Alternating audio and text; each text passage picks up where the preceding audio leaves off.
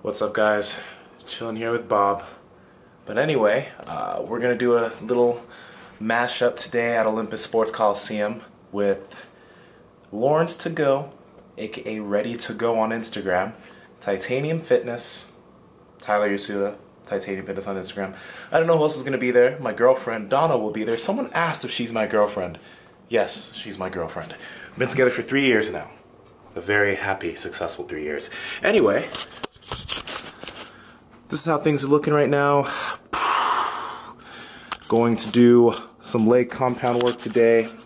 And this is pretty much, um, this is gonna be a rough setup of what my leg compound and main arm day is gonna be. Because like I said, I'm gonna dedicate a full day to arms.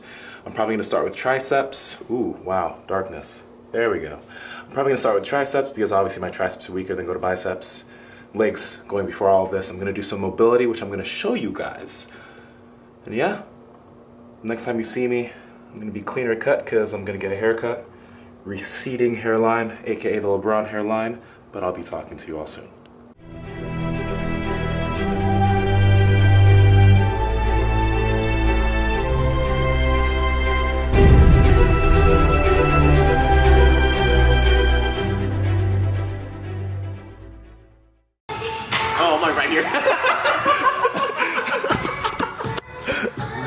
What's up guys? So I've changed my mind. I'm not gonna squat today. I thought I was gonna squat and do snatch deads, but on the drive over I was actually figuring out there's a better way I can set this up.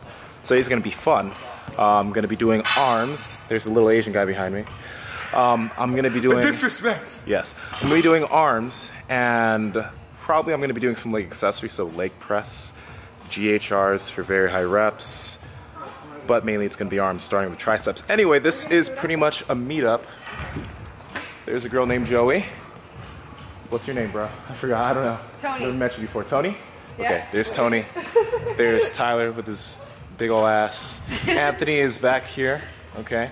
We've got Monique, Oja Monique on Instagram. And then we've got Lawrence doing some seal rows over here. And we've got Tyler pulling some Inception on me.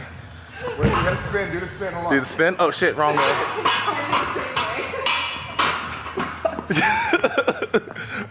Here's Lawrence. Okay. Oh, Oh. look at that lens. Yeah.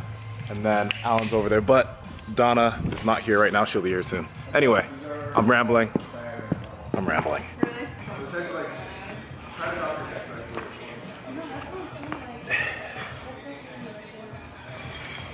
So,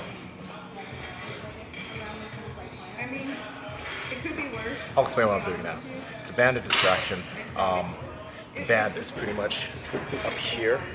Okay. And then what I do is my foot, which is right here. I imagine that I'm, oh, I, I do create torque, so I spread the floor, and the knee comes out. What happens here is that the femur, okay, is brought back, or the head of the femur is brought back to the back of the hip capsule. And if you hold this, if you do this maybe two to three times a week, and you mobilize this position for two to three minutes, um, you will end up over time having way more room in your hips um, when you're squatting or when you're deadlifting. Or you'll be able to open up your hips a lot more. So I wouldn't also suggest that you do this. Don't do this right before you squat. This should be a mobilization that you do on other days or maybe after you're done working out. I'm just doing this because I haven't done it in a while and I'm not squatting today, I'm leg pressing. So it, it's just, it's not something that you want to do before a big compound movement. It will bring too much damage and the joint will be too sore. Okay? yeah, and then uh, we're brace. Shouldn't regular movement though still The task in my life seems almost impossible The clear surface is still invisible And the peak seems way unreachable There is a sun and the moon shining in the sky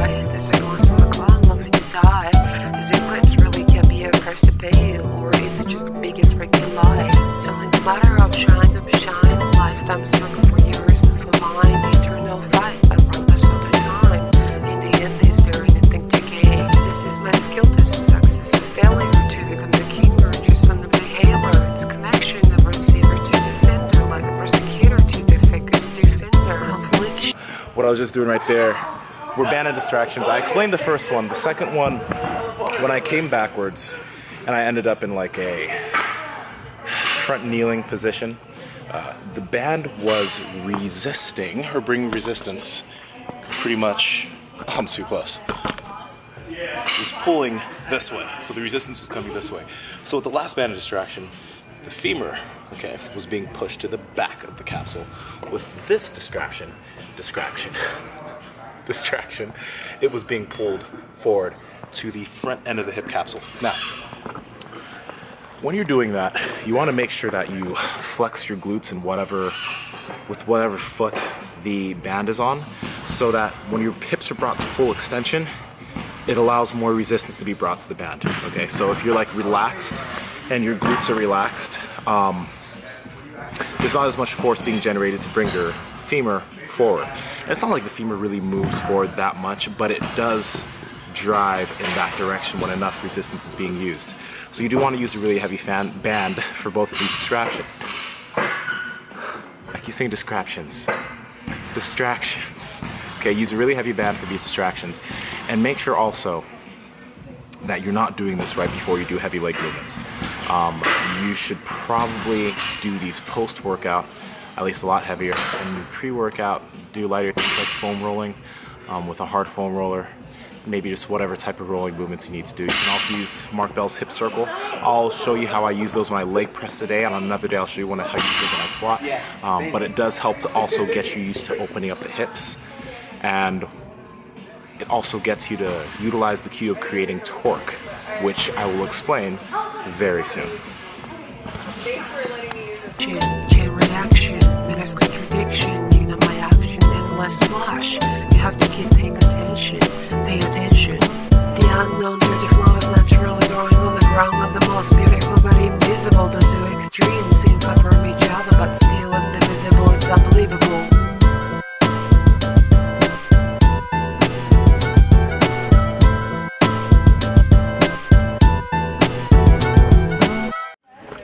So, let's explain this. See my feet, right? See my knees? Okay. I'm gonna explain torque. Torque is gonna come up a lot. Um, whenever you're doing like a squat or even a deadlift, you wanna create some aspect of torque. So, when most people leg press, right? Just watch my feet. Okay, they come straight down. Okay, the knees come straight down. They come straight up. Something like that. I disagree. Okay. What I do, and the reason why the hip circle is very useful in warming up, is I spread the platform so I keep my feet where they are, and I imagine that I'm spreading the platform. What happens with my knees when I do this is they start to come outward. So my feet haven't changed their place. I'm just spreading here, and then my knees in accordance come outwards here. So when I do actually, when I do my leg press, right, you notice that my knees are coming outwards. Okay. End up in like a outward position, and they're not just coming straight down on me like this. Okay, so I spread the platform. When I spread the platform, knees come out. Knees are coming out. Okay, I end up in a wider position at the bottom. So, why is this so important?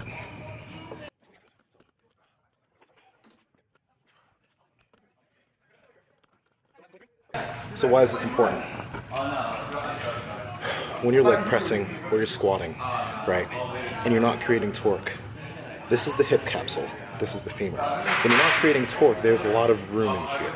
Okay, but when you spread the platform or when you spread the floor when you're squatting, this happens. So the joint pretty much locks into place. It's the same idea as when you're benching or you're doing any type of pushing movement and you were to break the bar. Same type of joint as your hips, it locks into place. So when you're doing this, spread the platform, knees come outwards, it comes straight down. Okay.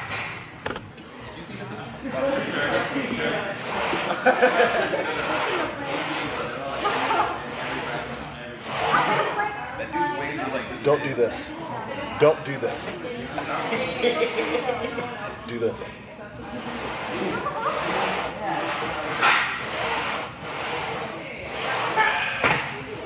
Guys, this is actually Kevin.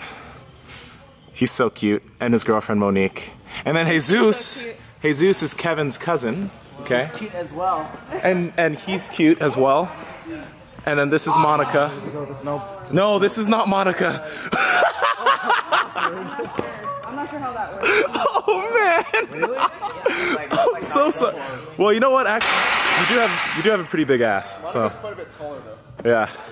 And then this is Ryan and Leo. Ryan and Leo, what's up? No, okay. This is Carl with a K, and that's Monica. Hi. Okay, that that's Carl. That's Monica. My bad. My bad. There is uncanny resemblance, right? You guys do look kind of alike, like brother and sister. That's kind of nasty, isn't it? Hey, sister.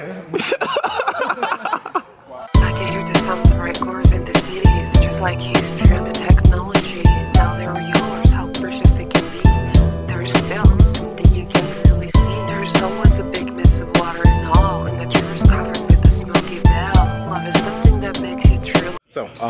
just finished all my sets of leg press. Like I said, you're gonna be with me through brainstorming all of this crap.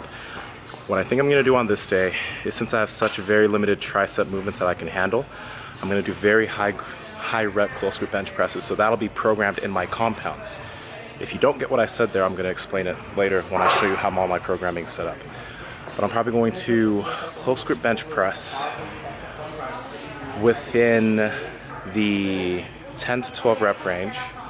And then I'm probably gonna do five or so sets of very high rep tricep movements just because, or tricep press downs just because, like I said, I'm limited with what my elbow can handle. So, very high rep close grip bench presses, very high volume tricep press downs, then I'm gonna be doing biceps, and then I'm gonna be doing GHRs. So the way I think this day is gonna be set up is high rep leg press, so high rep quad work, high rep GHRs, high rep close grip bench press.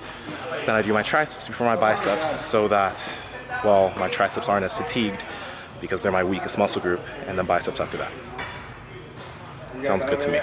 Ready? This dude's about to get. this is a thought angle. Now twerk for us. oh man, that's that's good. Wow, wow. Okay.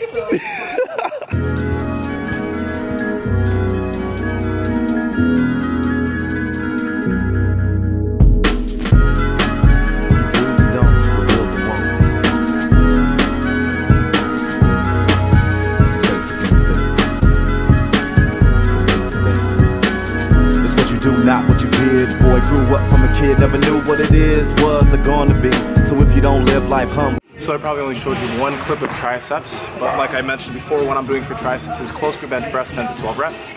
And then I'm going to do a one arm, um, I think I called that push down before, but I'm going to call it a pull down. Uh, five sets of 12 to 15 reps actually. I may stick this in the 15 to 18 rep range. And then, so I do five sets of that, and then I'm gonna do three sets or three different workouts for biceps. Um, first, the supinated bicep curl, so your typical standing bicep curl. I'll do that for three sets of eight to 12 reps. Then I'll do the incline bicep curl, maybe four sets of 12 to 15 reps. Then lastly, I'm going to do four to five sets of the seated concentration cable curls for sets of 15 to 18 reps. Um, I'm doing my triceps before my biceps, like I mentioned, because my triceps are weaker. Okay, um, or my triceps are less developed, so I want to utilize more energy for those. And if I did biceps before triceps, my performance in terms of my triceps movements, my tricep movements would be hindered. Okay, cool. You might feel the sting of a bumblebee. You tried it before, but don't front on me no more. Because I'm real inside, you'll never feel this vibe. We never get it right, we ignore. But still, I try until the day I die to throw away my pride and be pure. But what I came here for is to relate to your divine force, the orator. So, something that I forget to do often, but it's probably something that you shouldn't forget to do, is when you're doing a bicep curl. Let me use this arm. You're curling up. Turn your wrist slightly at the top. I was uh, when I was working out with Raymond over at campus. That's something I forgot to do, even though it's something that I usually do, and it's actually really important. You can feel the difference a lot. Second thing, don't forget to flex your butt, and I explain that in another reason why. It'll help you brace better. Let's get up, Tyler. Come on, up, up, up. Let's go. Two more, two more. Up. Get up. Lock out. Let's go, let's go. Up, up, up. Lock it out. There we go. Story tells, so I hope we gel and you can send email. I'm on tour. The do's and don'ts, the wills and won'ts.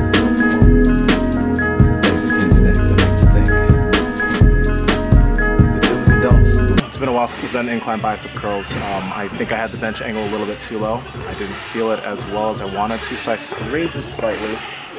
I'd say it's around 60 to 70 degrees. 60 degrees. Um, I'm also going to increase the weight I'm doing.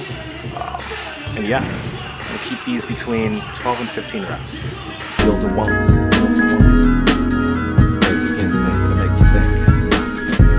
Who you know, who you are. Everyone you know is a star in somebody's eyes. Not who you seen from afar. Too many drinks at the bar got us dying inside. Trying to find escape many times a day. I just ride. So let's talk about performance real quick. I'm not sure if I'm gonna have this in the video, but I might. Um, my macro tracking has really been all over the place. It's my show. I haven't really wanted to track yet um, until I actually got my program set up, which is gonna be very soon. But because of this, my energy expenditure has been all over the place. So this is why it's really important for you guys, even if you're strength athletes or if you actually really do want to progress, it's extremely important to track your macros and have a certain amount of intake that you have per day so that for example if you're not tracking and your performance starts to dip and you don't know where your food intake has been it could potentially be because your mechanics on your lifts are bad or or maybe your progression isn't the greatest or it could just be you haven't eaten as much as you usually do and actually these past few days i haven't been eating as much as i usually do in terms of total calories so i'm feeling kind of weak today but that's my own fault so message to you track your macros. Try to have a benchmark in terms of your protein, carbs, and fat. If you even want to loosely track so you can know your pulse those numbers, do that. Um, but make sure you have a minimum intake that you need to have per day so that your performance doesn't dip like mine is right now. And that last set felt a lot better. Increased the seat angle, worked better for me. the way. When depression sets in, I stress my best friends, though I'm the blame. Because I know inside I gotta focus my ability so I can make change. Now it's no denying me, soldier, I'ma just hold the line and take aim. With my goals in mind, I put in overtime. It's no game defined with no pain. Digging this setup a lot. Um, I'm digging this arm day setup a lot. I'm going to attempt and see if I can do some chin-ups at the very end, weighted chin-ups. I think my arms are going to be too fatigued for that, so let's try it out. Um, if it goes well, I'll see how many sets I can do with that. If it doesn't, we're going to get some pictures and then we're going to go eat some food. The the.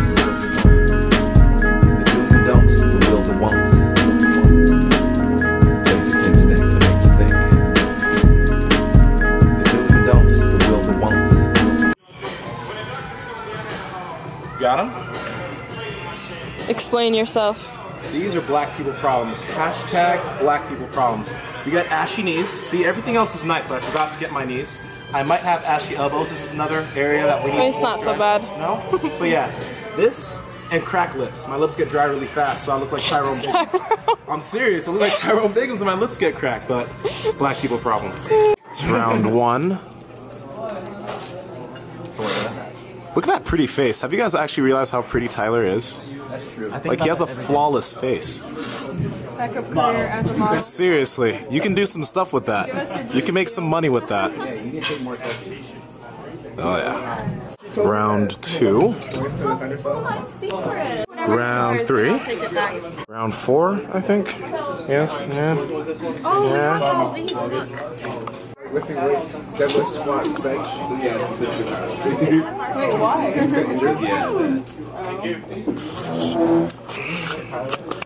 I think the reason it's So I too much food.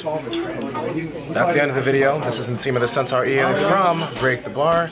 I'll talk to you all very soon. Mm. Mm. Mm. He wanted to do deadlift only, but then he didn't